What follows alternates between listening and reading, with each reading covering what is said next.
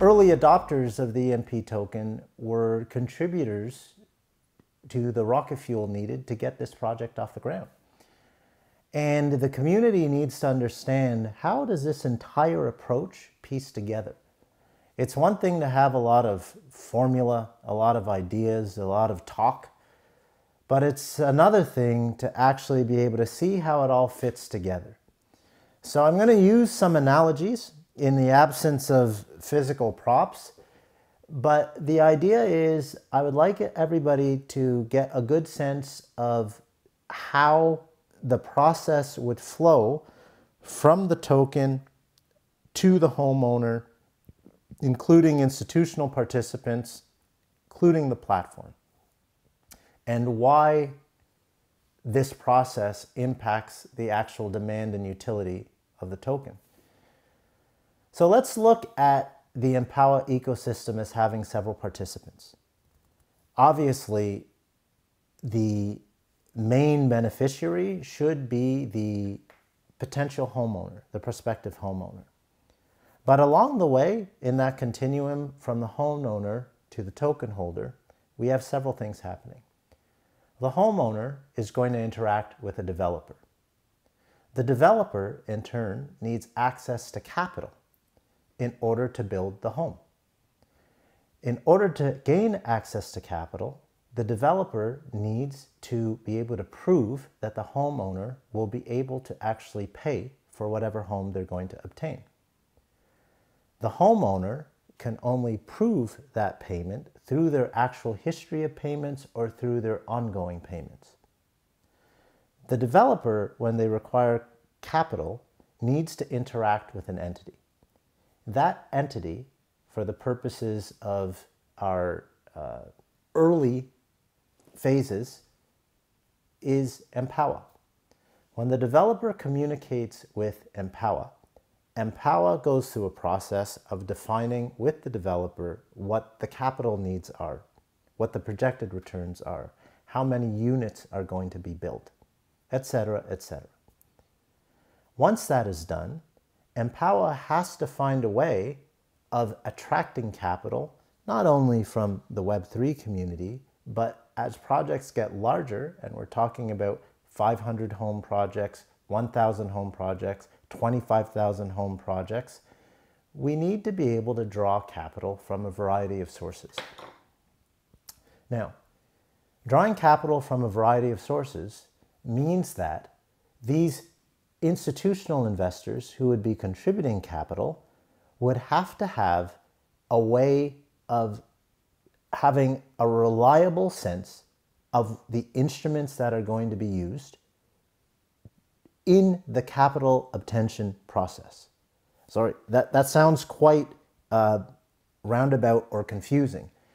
But the idea here is we effectively can view Empowa as an underwriting platform that is going to institutional investors and giving them a package of product that they're going to be comfortable putting their money into. In this case, for those of us in the Web3 community, we know these products as NFTs. In the case of an outside investor, these NFTs are not just an artistic product, they are effectively a contract for a portion of a loan that has very, very specific repayment clauses and terms. I refer to these NFTs, the Empowa NFTs, as SDRI NFTs. I'm going to see if I remember what the acronym is, but it's a secured defined return instrument. What does that mean? Well, what it means is, as an instrument, we wanted to create something that closely mimics the properties of a bond. Why a bond? We like bonds because bonds have a long history in the world of finance. It's very easy to explain bonds as debt instruments for project finance to institutional investors. Bonds can have many, many features. they're sensitive to interest rates, which, of course, we would have to ensure that our instruments are also sensitive to interest rates given the volatility of foreign currencies throughout the continent. Bonds have a principal or a face value. Bonds oftentimes have an interest rate that is paid out or a coupon, and they have redemption periods, a tenor. All of those features are very attractive in terms of financing, but they're also very attractive in terms of explaining to financial counterparties what we're doing. The beauty of this, though, is once we can explain it as a bond, we have the ability to mint these instruments in the quantities needed for the capital raise that is required. We're able to reduce costs by leveraging Web3 technology in the process. So that's fantastic, you may say, as an EMP token holder. And now you get a sense of the primary instrument or tooling that the Empowa platform will utilize to access capital from traditional sources of capital in order to redirect that to property developers who will in turn leverage that against the cash flows that will be generated whenever they sell the properties and the homeowners effectively take possession of their home and over a period of time submit their cash flows as in the form of payment so that the property developer can in turn repay the bond instrument to the Empowa SDRI NFT holders. But then there's another piece of the pie. We have to deal with the reality of collateral. Now, this is something that I have firsthand knowledge of. In many of these countries, getting a lien on an asset is incredibly time consuming and costly. It is not only time consuming and costly, in some instances, it's impossible. It's impossible because there are rules that prevent foreigners from holding title and deed to certain properties. And this is true in many countries. And it's actually true not just in countries in Africa. In places like St. Kitts and Nevis, which is a beautiful, beautiful Caribbean island destination, and in many other Caribbean countries, if you are a foreigner wishing to purchase property, you must make application to the government and pay sometimes a 10% alien landholding fee. But the key is you must make application to the government. If your application is declined, you have no right to own the property on that island. The same thing is in place in many countries. I know in Ghana, for instance, there are certain rules that say foreigners are only allowed a 50 year leasehold right to property. Now, that has an impact on one's ability to generate security against a financial instrument something that has been done that is actually quite revolutionary in my view is the whole concept of, well, if the EMP token is truly a utility token and not just another attempt at recreating a currency, what is that utility? How can that utility be used uniquely? How can that utility be used to facilitate and aid in the financing of these projects? And here in comes yet another Empowa innovation. The idea that the EMP token now represents a unit of house. Now, this is really important because many people will try to equate the EMP token with whatever market value they can see online. But there's a separation. The EMP token will represent a 100 US dollar unit of house. What does that mean? I'm going to draw an analogy. If we look at a commodity like gold, we've all seen gold bars.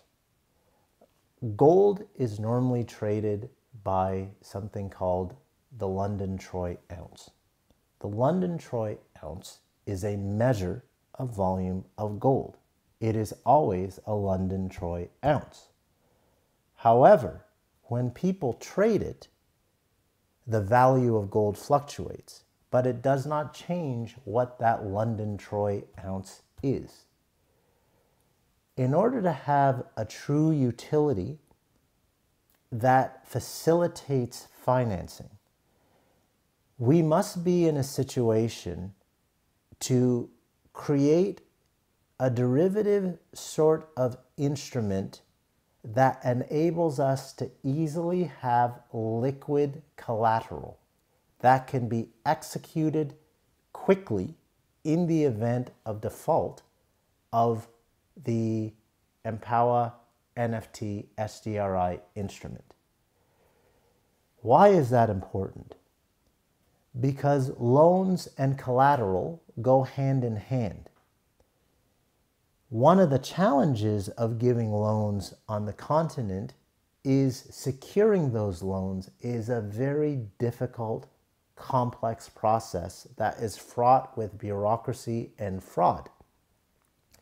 If we are able to extract the bureaucracy and fraud, but still provide some representation of the underlying asset as representation of that collateral, and that underlying asset representation is an actual measure that anybody around the world knows what it's associated with. In the same way as everybody around the world understands a London Troy ounce or one liter in terms of a metric measurement. This is the objective of the EMP token in terms of utility. It is a measure of unit of house. And in so doing, it has applicability as a collateralization instrument. Because it has applicability as a collateralization instrument in terms of it being a measure of unit of house, by its very nature, it will be required for every single financing transaction that runs through the Empowa platform. And the reality is, because of the nature of Web3 technology, there is actually no limit in terms of what other projects can use the EMP token for, should that happen in the future. But I would like to focus discreetly on this particular use case of the funding, the capitalizing of homes, affordable housing homes in Africa. I'm going to do a deep dive about how that collateralization piece works. But for now, if you accept on the face the principle of the EMP token being used as a measure of house, then you can see why in the absence of traditional collateral, substituting the EMP token, which is a fungible tradable token, would ultimately create a high level of demand for that token for every financing activity that takes place. Because it will be impossible to issue a bond instrument, or in our case, an Empowa SDRI NFT, without assigning a certain degree of collateral to that instrument. It would be impossible to do that without the interest rates, the required return being exceedingly high.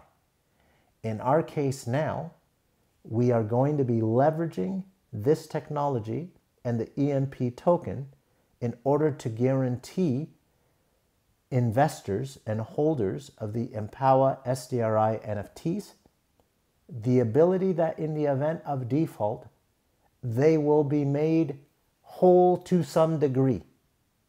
They will not be left with absolutely nothing, and they will not be left with an asset sitting in the middle of an African country that cannot be sold. And as we know, if you have an asset that cannot be sold, is completely illiquid, it effectively has no value. We wanted to solve that problem, and that is the approach that we use.